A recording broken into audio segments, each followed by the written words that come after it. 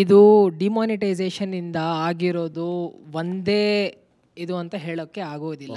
ಇದರಲ್ಲಿ ಬೇರೆ ಸೆಕ್ಟರ್ಸ್ ಒಂದು ಅಂತ ಆಗೋದಿಲ್ಲ okay they are pros and cons ಇದೆ okay but the thing is that ಅದಕ್ಕಿಂತ ಬಿಟ್ಟು ಮೇನು ನಮ್ಮ ಡಿಮಾನಿಟೈಸೇಷನ್ ಇಂದ ಎಕನಾಮಿ ಡೌನ್ ಆಯಿತು ಡೌನ್ಫಾಲ್ ಆಯಿತು.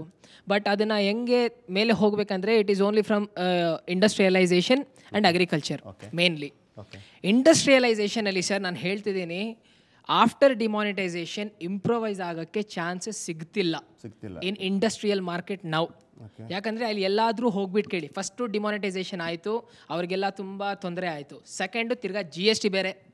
ಅದ್ರ ಮೇಲೆ demonetisation let me complete G demonetisation ಅದರಿಂದ ಇನ್ನೂ ಆಚೆನೆ ಬಂದಿರಲಿಲ್ಲ ಅವರು. ತಿರ್ಗಾ ಈ ಜಿ ಎಸ್ ಟಿ ಬೇರೆ ಆಯಿತು. Because of all this things ಈಗ ಇಂಡಸ್ಟ್ರಿಯಲ್ ಸೆಕ್ಟರು ತುಂಬ ಕಷ್ಟಪಡ್ತಿದೆ.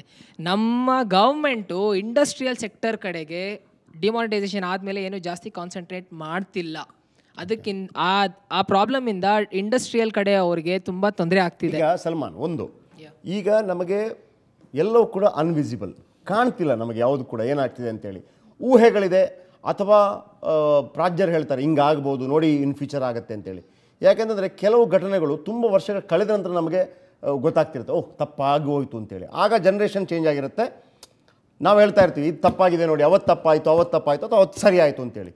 ಎರಡೂ ಬರ್ಬೋದು, ಇಲ್ಲ, ಅವತ್ತು ಮಾಡಿದ್ದು ಸರಿ, ಅಥವಾ ಅವತ್ತು ಮಾಡಿದ್ದು ತಪ್ಪು ಅಂತಂದ್ಬಿಟ್ಟು. ನೀವು ಸ್ವಲ್ಪ ವ್ಯಾಪಾರ ವಹಿವಾಟುಗಳನ್ನು ನೀವು ಮಾಡೋ ಕಾರಣಕ್ಕಾಗಿ ನಾನು ಕೇಳ್ತಾ ಇದ್ದೀನಿ. ನೀವು ಹೇಳ್ತಾ ಇದ್ದೀರಿ ಇಂಡಸ್ಟ್ರಿಯಲ್ ವಿಚಾರಕ್ಕೆ ಯಾವುದೇ ರೀತಿ ತೊಂದರೆ ಆಗತ್ತೆ ಅಂತೇಳಿ. ಈಗ ತೊಂದರೆಗಳ ನಿಮ್ಮ ನೀವು ಹೇಳೋ ಪ್ರಕಾರ ತೊಂದರೆಗಳಾಗ್ತಿದೆ. ಅದು ತೊಂದರೆಗಳಾಗ್ತಿದೆ ಅಂತ ಹಂಡ್ರೆಡ್ ಪರ್ಸೆಂಟ್ ಅಂದರೆ ಎಲ್ರಿಗೂ ಗೊತ್ತಾಗೋದು ಯಾವಾಗ ಅದು? ನಿಮ್ಮ ಪ್ರಕಾರ ಎಷ್ಟು ವರ್ಷಗಳು ಹಿಡಿಯುತ್ತೆ? ಓ ಅವತ್ತು ತಪ್ಪಾಯಿತು ಅಂತ. ಸರ್ ನೋಡಿ ಈಗ ಡಿಮಾನಿಟೈಸೇಷನ್ ಆಯ್ತಲ್ಲ? ಡಿಮಾನಿಟೈಸೇಷನ್ ಆಗಿ ಆ ಟೂ ಮಂತ್ಸ್ ಪೀರಿಯಡ್ ಇತ್ತು ನೋಡಿ ಫಿಫ್ಟಿ ಡೇಸ್ ಪೀರಿಯಡ್ ಓಕೆ ಯಾರು ನಾವು ನಾವು ನಮ್ಮ ಪ್ರೈಮ್ ಮಿನಿಸ್ಟರ್ ಕೇಳಿದ್ರು give me fifty days okay ಆ ಫಿಫ್ಟಿ ಡೇಸ್ ಪೀರಿಯಡಲ್ಲಿ ಜನರಿಗೆ ಯಾಕಂದರೆ ಬಿಸ್ನೆಸಸ್ ಅಂದರೆ ಹೆಂಗಂದರೆ ಇವತ್ತು ಬಿಸ್ನೆಸ್ ಆದರೆ ಅವ್ರಿಗೆ ಏನಾದರೂ ತಿನ್ನಕ್ಕೆ ಸಿಗೋದು. ಓಕೆ ಅಂಥ ಬಿಸ್ನೆಸಸ್ಸು ಇದೆ. At rural places at tier two cities ಇದೆ. ಅಂತ ಆ ಕಡೆ ನಮ್ಮ ನಮ್ಮ ಕೋಲಾರ ಕಡೆನೇ ಇಟ್ಕೊಳ್ಳಿ ನೀವು ಸಿಲ್ಕು. ಈಗ ಡಿಮಾನಿಟೈಸೇಷನ್ ಆಗಿದ್ದಾಗ ಓನರ್ಸ್ ಹತ್ರ ದುಡ್ಡಿಲ್ಲ. ಜನರಿಗೆ ಅವ್ರು ದುಡ್ಡು ಕೊಡೋಕ್ಕಾಗ್ತಿಲ್ಲ ಆವಾಗ ಬಿಸ್ನೆಸ್ ನಡೀತಿಲ್ಲ. ಅಂತ ಟೈಮಲ್ಲೆಲ್ಲ ಅವರು ಮನೆಯಲ್ಲಿ ಅನ್ನ ತಿಂದಿರ ಆಗೋಗಿ ಆಗೋಗಿತ್ತು. ಅಂತ ಟೈಮಲ್ಲಿ ಅದು ಆಗಿದ ಮೇಲೆ ಅವ್ರಿಗೆ ಇನ್ನೂ ಅದರಿಂದ ರಿವೈವ್ ಆಗೋಕ್ಕೆ ಚಾನ್ಸಸ್ ಸಿಗ್ತಿಲ್ಲ. ಸಿಗ್ತಿಲ್ಲ ಡೈಲಿ ವೇಜಸ್ ಮೇಲೆ ವರ್ಕ್ ಮಾಡೋರಿಗೆ ದುಡ್ಡು ಸಿಗ್ತಾ ಇಲ್ಲ ಅಂತ. ಒಂದು ಬೆಸ್ಟ್ ಎಕ್ಸಾಂಪಲ್ ಹೇಳ್ತೀನಿ. ಅಸ್ಸಾಮಲ್ಲಿ ಒಂದು ಬ್ಯಾಂಕ್ ಇದೆ ಅಸ್ಸಾಂ ಗ್ರಾಮೀಣ್ ವಿಕಾಸ್ ಬ್ಯಾಂಕ್ ಅಂತ. ಈ ಬ್ಯಾಂಕಲ್ಲಿ most of the depositors are like tea planters tea pluckers ಇರ್ತಾರೆ. ಅವರಿಗೆ ನೀವು ಹೇಳಿದಾಗೆ ಓನರ್ಸಿಗೆ ದುಡ್ಡು ಕೊಡೋಕ್ಕಾಗಿಲ್ಲ ಅವರು ಡೈಲಿ ವೇಜಸ್ನ ಕೊಡೋಕ್ಕಾಗಿಲ್ಲ ಸೊ ಅವರು ಬ್ಯಾಂಕ್ ಅವ್ರನ್ನ ರಿಕ್ವೆಸ್ಟ್ ಮಾಡ್ತಾರೆ ನಾನು ಹೀಗೆ ನನ್ನ ಲೇಬರ್ಸಿಗೆ ದುಡ್ಡು ಕೊಡೋಕ್ಕಾಗ್ತಾಯಿಲ್ಲ ಅಂತ. ಒಂದು ಬ್ಯೂಟಿಫುಲ್ ಐಡಿಯಾ ಅವರು ಬರ್ತಾರೆ. They come up with micro A T M machines.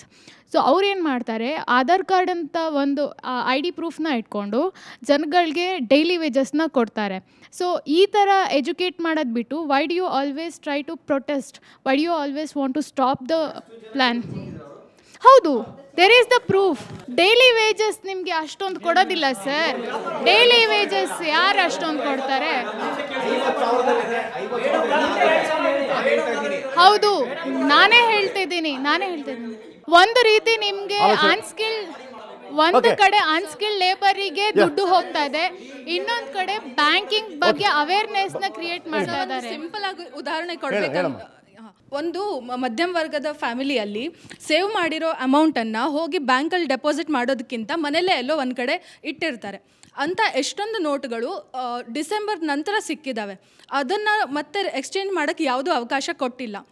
So ಅಂಥ ಪ್ರತಿಯೊಂದು ಮನೆಯಲ್ಲಿ ಈ ಥರ ಎಷ್ಟೊಂದು ನೋಟ್ಗಳು ಸಿಕ್ಕಿದ್ದಾವೆ. ಎಕ್ಸಾಂಪಲ್ ನಮ್ಮ ಮನೆಯಲ್ಲೇ ಸಿಕ್ಕಿದ್ದಾವೆ. ಅದೇ ರೀತಿ ಇದು ದೇಶಕ್ಕೆ ಒಂದು ನಷ್ಟ ಅಲ್ವಾ ಅಂತ ಕಾರ್ಯಕ್ರಮದ ಕೊನೆಗೆ ಸಿ ನನಗೆ ನಾವು ನಾವು ಸೇವ್ ಮಾಡಿರೋ ಅಮೌಂಟ್ ಅನ್ನ ಯಾವುದೋ ಒಂದು ಟೈಮಲ್ಲಿ ಯೂಸ್ ಮಾಡ್ಕೋಬೇಕು ಅಂತಾನೆ ಇಟ್ಟಿರ್ತೀವಿ. ಸಿ ಅಲ್ಲ. ಅಲ್ಲ ಅಲ್ಲ. ಸರ್ ಸರ್ ಸರ್ ಸರ್ ಇಲ್ಲ, ಸರ್ ಹಾಗಾದ್ರೆ- ಗೋಲ್ಡ್ ಮನೇಲಿ ಇಡಲ್ಲ. ಅಲ್ಲ, ಅಲ್ಲ, Save Channel ಮಾಡಿಟ್ಟಿರೋ amount ಅನ್ನ two- two months ಕಾರ್ಯಕ್ರಮದ use ಕೊನೆಗೆ ಮಾಡ್ಬೇಕು ಬಂದಿನಿ. ಅಂತ ಚಾನಲ್ ಐಸ್ ವಿಚಾರ ಕೇಳಿದ್ರು ಆ ದುಡ್ಡು ಸರ್ ಸೇವ್ ಮಾಡಿಟ್ಟಿರೋ ಅಮೌಂಟ್ ಅನ್ನ ಟೂ ಮಂತ್ಸ್ ಅಲ್ಲೇ ಯೂಸ್ ಮಾಡ್ಬೇಕು ಅಂತ ಏನಾದ್ರೂ ಇದೆಯಾ? ನನ್ಗೆ ಆರು ತಿಂಗಳ ನಂತರ ಅವಶ್ಯಕತೆ ಇದೆ ಅಂತ ನಾನು ಸೇವ್ ಮಾಡಿಟ್ಟಿರ್ತಾ ಇದ್ದೀನಿ. ಸರ್ ಸರ್ ಜಸ್ಟ್ ಒಂದು ಓಕೆ ಫೈನ್ ಲಾಸ್ಟ್ ಲಾಸ್ಟ್ ಒಂದು ಮಾತು ಪ್ರಾಕ್ಟಿಕಲ್ ಆಗಿ ಮಾತಾಡೋಣ ಇದನ್ನ. ಲಾಸ್ಟ್ ಮಿನಿಟ್ ಸರ್ ತುಂಬ ಪ್ರಾಕ್ಟಿಕಲ್ ಆಗಿ ಮಾತಾಡೋಣ ಇದನ್ನ. ಆಯಿತು ನಾವು ಒಳ್ಳೆ ದಿನಗಳಿಗಾಗಿ ಇದನ್ನ ನೋಡ್ತಿದ್ವಿ. ಒಂದೇ ಸರಿ ಏನೂ ಆಗಲ್ಲ. ನೂರು ದಿನದಲ್ಲಿ ಅವಕಾಶ ಕೇಳಿದವರು ಏನೂ ಮಾಡಿಲ್ಲ. ಏನು ಮೋದಿ ಏನೋ ಒಬ್ಬ ಗ್ರೇಟ್ ಫೈನಾನ್ಸ್ ಇಷ್ಟ ಅಲ್ಲ ಫೈನಾನ್ಸ್ ಇಷ್ಟ ಅಲ್ಲ, ಅಥವಾ ಆರ್ಥಿಕ ತಜ್ಞರಲ್ಲ, ಅವ್ರ ಕೈಲಿ ಮಾಡೋಕ್ಕಾಗಲಿಲ್ಲ ಒಪ್ಕೋಣ ಆ ದಿನಕ್ಕಾಗಿ ಕಾಯ್ತೀವಿ. ಆದರೆ ಇದೇ ಮೋದಿ ಸರ್ಕಾರ ಅಥವಾ ಆರ್ ಬಿ ಐ ಕ್ಯಾಶ್ಲೆಸ್ ಟ್ರಾನ್ಸಾಕ್ಷನ್ನ ಪ್ರೋತ್ಸಾಹಿಸಿದೆ ದಯಮಾಡಿ ಯಾವುದೇ ಎ ಟಿ ಎಂ ಕಾರ್ಡ್ಗಳು ಆನ್ಲೈನ್ ಟ್ರಾನ್ಸಾಕ್ಷನ್ಸ್ಗೆ ಒಂದೇ ಒಂದು ರೂಪಾಯಿ ಚಾರ್ಜ್ ಮಾಡಬೇಡಿ ಅಂತೇಳಿ. ನಾವು ಅವಾಗ ನಗದು ರಹಿತ ಟ್ರಾನ್ಸಾಕ್ಷನ್ ಓಕೆ ವೀಕ್ಷಕರೇ ಪ್ರಾಕ್ಟಿಕಲ್ ಆಗಿ ನಾನು ಹೇಳ್ತೀನಿ ನಿಮಗೆ ಅವ್ರು ಹೇಳ್ತಾ ಇದ್ರು ಫುಲ್ ಫ್ಲಾಪ್ ಆಗಿದೆ ಹಂಗಾಗಿದೆ ಹಿಂಗಾಗಿದೆ ಮೋದಿ ಅವರು ಕಾರ್ಡ್ಲೆಸ್ ಫುಲ್ ಜೀರೋ ಪರ್ಸೆಂಟ್ ಮಾಡಲಿ ಅಂತ. ನಾವು ಅದನ್ನ ಮಾಡ್ತೀವಿ ನಮ್ಗೆ ಗೊತ್ತಿದೆ. ಇವರೆಲ್ಲ ನಿರ್ಧಾರ ತಗೋತಿದ್ದಾರೆ ನಾವು ಮಾಡೋಕ್ಕಾಗಲ್ಲ ಹಂಗಾಗಲ್ಲ ಹಿಂಗಾಗಲ್ಲ ಅಂತ.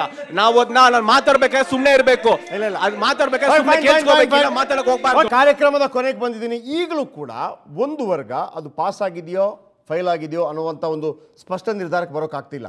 ಕೆಲವರು ಅದು ಪಾಸ್ ಆಗಿದೆ ಅಂತ ಹೇಳ್ತಾರೆ, ಕೆಲವರು ಫೇಲ್ ಆಗಿದೆ ಅಂತ ಹೇಳ್ತಾರೆ. ಆದರೆ ಇದೆಲ್ಲವೂ ಕೂಡ ಇಂಥ ನಿರ್ಧಾರಗಳೆಲ್ಲವೂ ಕೂಡ ಒಂದೇ ಸಲಕ್ಕೆ ನಮ್ಮ ಕಣ್ಣ ಮುಂದೆ ಅದಕ್ಕೊಂದು ಕನ್ಕ್ಲೂಷನ್ ಸಿಗುವಾಗ ಸಿಗೋದಿಲ್ಲ.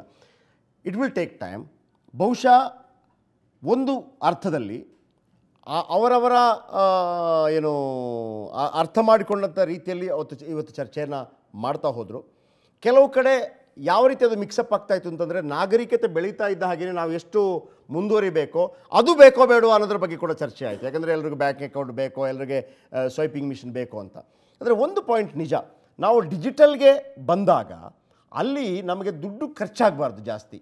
ಫಾರ್ ಎಕ್ಸಾಂಪಲ್ ನಾವು ಯಾಕೆ ಎಲ್ಲಿಗಾದರೂ ಫಿಫ್ಟಿ ಪರ್ಸೆಂಟ್ ಆಫ್ ಇದ್ದಾಗ ಬೇಗ ಓಡೋಗ್ತೀವಿ ಅಂದರೆ ಭಾಳ ಬೇಗ ಅಟ್ರಾಕ್ಟಿವ್ ಆಗ್ತೀವಿ. ನಾನು ಈಗಲೂ ಅದನ್ನು ಒಪ್ಕೋತೀನಿ. ಕ್ಯಾಶ್ ಬದಲಾಗಿ ನೀವು ಡಿಜಿಟಲ್ ಮಾಡುವಂಥ ಸಂದರ್ಭದಲ್ಲಿ ನಲವತ್ತು ರೂಪಾಯಿ ಕಟ್ಟಾಗುವಲ್ಲಿ, ನಲವತ್ತು ರೂಪಾಯಿನೇ ಕಟ್ಟಾಗಲಿ. ನೀವು ಡಿಜಿಟಲ್ ಆಗುವಾಗ ಬೇಕಿದ್ರೆ ನಲವತ್ತೇ ರೂಪಾಯಿ ಕಟ್ಟಾಗಲಿ ನೋ ಪ್ರಾಬ್ಲಮ್ ನಲವತ್ತೊಂದು ಆದಾಗ ಎಲ್ಲೋ ಒಂದು ಕಡೆ ಭಾರತೀಯರ ಮನಸ್ಸು, ಅಯ್ಯೋ, ನನಗೆ ಜಾಸ್ತಿ ಹೋಗ್ತಾ ಇದೆ ಅನ್ನುವಂಥದ್ದು ಬರಬಾರ್ದು. ಒಂದು ವೇಳೆ ಅದು ಸರಿಯಾಗಿಬಿಟ್ರೆ, ನೀವು ಹೇಳ್ದಂಗೆ, ಬಹುಶಃ ಅದಕ್ಕೆ ಎಲ್ಲರೂ ತೆರೆದುಕೊಳ್ಬೋದೇನೋ ಗೊತ್ತಿಲ್ಲ, ಮುಂದಿನ ನಿರ್ಮಾಣಗಳಲ್ಲಿ ಒಟ್ಟಾರೆ ದೇಶಕ್ಕೆ ಒಳ್ಳೆಯದಾಗಲಿ ಕೆಲವು ತಪ್ಪು ನಿರ್ಧಾರಗಳೋ, ಒಳ್ಳೆ ನಿರ್ಧಾರಗಳೋ, ಅದು ಕಾಲವೇ ನಿರ್ಧಾರ ಮಾಡಲಿದೆ. ಥ್ಯಾಂಕ್ ಯು ವೆರಿ ಮಚ್ ಕಾರ್ಯಕ್ರಮದಲ್ಲಿ ಭಾಗವಹಿಸ್ತಾ ಎಲ್ಲರಿಗೂ ಧನ್ಯವಾದ. ನಮಸ್ಕಾರ.